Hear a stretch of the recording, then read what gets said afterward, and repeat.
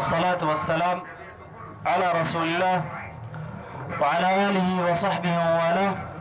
أما بعد الإخوة الأفاضل الأكارم السلام عليكم ورحمة الله تعالى وبركاته. قال الله تعالى في محكم تنزيله قل الحمد لله وسلام على عباده الذين اصطفى. الله خير أما يشركون. ذكر الله هذه الآية في سورة النمل ليبين للناس أنما أنما جعلوهم أن الذين جعلوهم آلهة مع الله جل وعلا لا يساوون الله تعالى في أفعاله ولا في صفاته ولا في أسمائه ولا لهم الخيرية حتى يعبدوا مع الله. قل الحمد لله وسلام على عباده الذين اصطفى أي على عباده الذين أرسلهم وعلى عباده الصالحين الذين هداهم ووفقهم للإيمان به جل وعلا. قل الحمد لله وسلام على عباده الذين اصطفى. آه الله خير أما يشركون. وللأسف الشديد أننا نعيش في زمان صار فيه الدعوة إلى التوحيد من الغرائب في مجتمعنا. وصار فيه أن يصرف أن تصرف العبادة لله جل وعلا من أغرب الأشياء التي يستمع إليها الناس. فأنت غريب عندما تقول للناس أن الله هو الخالق وحده وأنت غريب عندما تقول للناس أن الله هو الذي يهب الذرية وينزل الأمطار وبيده الرزق وبيده ملك كل شيء وأنه جل وعلا مالك الملك وأنه الذي يجمع الناس ليوم لا, لا, لا ريب فيه فيدخل أهل الإيمان برحمته جل وعلا إلى الجنة ويدخل أهل الكفر الكفران إلى النار وساءت مصيرا الآن الدعوة للكلام ده بقت غريبة في المجتمع وللأسف الشديد بنحارب في عقائد العقائد دي في زمن الأنبياء وفي زمن النبي عليه الصلاة والسلام ما كانت موجودة. ما كانت موجودة. العقائد الخالف فيها حميدة كراعه وبقول بقول للناس أبو جهل ما كان بيقولها كويس؟ ال ال أبو لهب ما كان بيقولها المشركين في زمن نوح عليه السلام ما كانوا بيقولوها. المشركين في زمن إبراهيم عليه السلام ما كانوا بيقولوها. ولا في زمن الأنبياء كلهم ما كانوا يقولوا العقائد دي. للأسف إنه الليلة دايرين نوصل للناس معلومة إنه الله اللي بيخلق براو وإنه ربنا سبحانه وتعالى هو اللي بيرزق براو وإنه ربنا سبحانه وتعالى هو اللي بيحيي وهو اللي بيميت. دي دايرين نوصلها للناس للأسف بعدين مع الناس من تحت خط الصفر. من تحت خط الصفر. يعني خط الصفر ذاته لو وصلناه بيكون أحسن. لو وصلنا مع الناس من الصفر إنه زول يكون جاهل بالدين ونشبهه لفوق نعلمه. للأسف دي إحنا ما واصلنا عندنا ناس جاهلين وما عارفين نفسهم. إنهم جاهلين. جهل مركب فوق جهل الواحد يكون جاهل وقاعد يروح انه عالم زي السجمان اللي قاعد بيجاي ده. زي السجمان ده. يا حميده نحن خلافنا معاك. ما انه والله مستر همبر داعي المعارف محمد بن عبد الوهاب ولا غيره. نحن خلاف معاك في الله خلقك وخلق كراعك الخليفة دي. خلق كراعك الخليفة دي للناس. وشغال تنزل تقول لهم البرعي كويس وتقول لهم صاين ديمو كويس وتقول لهم الركيني كويس. ديل كلهم. ديل الناس خلافنا معاك فيهم ليه؟ لأنهم الناس ديل كلامهم في الله. الخالق الكون كفر. كفر. الركين يقول لك وما الكلب والخنزير إلا إلهنا وما الله إلا راهب في كنيستي. ده نفس الكلام اللي بيقول الصوفية الأوائل. ناس ابن عربي. البرعي بيقول لك وقال الحسين على معبودكم قدمي وضعته. يا له من عارف كاسي. زول بيقول خد تقرأه في الله. انت خالف قراءك قراءك الله يقطع عليك ريحنا منه. كويس؟ خالف قراءك وتقول البرعي كويس؟ يا أخي البرعي العقيدة اللي عنده عند أبو جهل ما في. البرعي يقول لك شيخنا بخلق البرعي يقول لك شيخنا بقلب البيت ولد. البرعي يقول لك شيخنا آه بيحيي الموتى. كويس؟ ودي عند أبو جهل ما في. وعند أبو لهب ما في. الله قال ولئن سألتهم من خلق السماوات والأرض ليقولن الله. ولئن سألتهم من خلقهم ليقولن الله. ديل بيقولوا الله. لكن السج- السجم البهجاي ديل ممكن عادي يقولوا ليك كتبهم قاعدة. ده كتاب البرعي. كويس اسمه ليه السلام مني. هنا صفحة 44 بيتكلم عن عن, شيخ أحمد الطيب البشير. يقول ليه مسلم يا ولد وتلقى البيت ولد. كويس دارين البلد تتقدم كيف؟ البلد تمشي لقدام كيف؟ كويس؟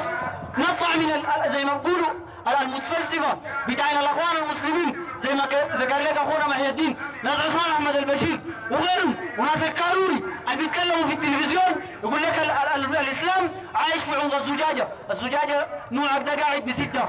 ما بخلي الناس يمرقوا منها. ما بخليهم. ليه؟ لأنه أنت بيزكي الناس ديل. يقول لك وقد أفاض شيخنا البرعي في مصر المؤمنة بأهل الله. عددا من المشايخ والعلماء والزهاد والعابدين. ديل ديل عابدين شنو زول؟ ديل عابدين الشياطين. زي ما قال ربنا سبحانه وتعالى عن إبراهيم عليه السلام لما تكلم مع مع أبيه ومع قومه قال يا أبتي لا تعبد الشيطان إن الشيطان كان للرحمن عصيا. كويس؟ قال له ما تعبد الشيطان. قال عبدين الشواطين والله والله الكلام اللي بيقولوا البرعي واللي بيقولوا النوعيه ناس حميدة ديل وده داري ياكل بس هكا ده داري ياكل بس. جاهل والله الاسدي قول له سمع الكافرون. اسمي هنا. حميدة أنا سامع قاقر الكافرون. أقرأ. ما تكون حافظة. زول جاي يغش النساوين. كويس؟ وغش الناس المساكين. النوعيه اللي بيكون ربنا ابتلوا بعدم الذرية. النوعيه اللي بيكون ربنا ابتلوا بمرض. كويس؟ يجي يقول لي والله أنا بديك حجاب. بيجيب لك الولد وأنا بديك حجاب بي- بيجيب لك الرزق. انت الرزق قاعد في الطين ده تقول في كفر كمان. بتقول في كفر بتديه لزول رزق كويس؟ دي العقائد القاعدة في البلد دي. وده كلام العلماء. والعلماء لما يتكلموا ومحمد بن عبد الوهاب الحارقك ده واللي بتسخر منه ده كويس؟ ما سخرت منه إلا لأنه قال لك شيوخ الدل ما عندهم حاجة. والملك بيد ربنا سبحانه وتعالى. كويس؟ محمد بن عبد الوهاب كما في كتاب القواعد الأربعة قال اعلم أن مشركي زماننا أشد شركا من المشركين الأوائل. وده كلام صحيح. وكلام مشاهد لأن المشركين الأوائل كانوا يقولوا الله الخالق. وكانوا يقولوا ربنا سبحانه وتعالى هو اللي بي- اللي بيقتلنا وهو اللي بيحيينا وهو اللي بيميتنا. كويس؟ لكن ديل عاملين لهم واسطة. لا لا. ديل معاه واسطة زادوا لها زيادة. كويس؟ الزيادة شنو؟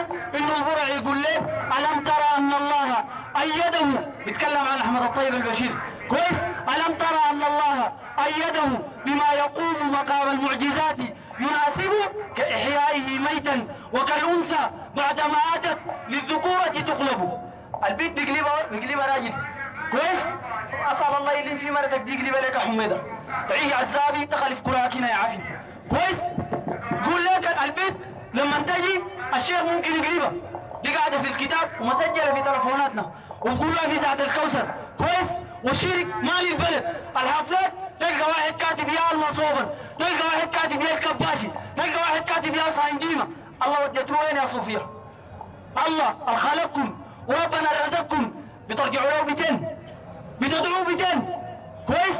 بتستغيثوا له بيتين يا أخي ربنا قال وقال ربكم ادعوني استجب لكم.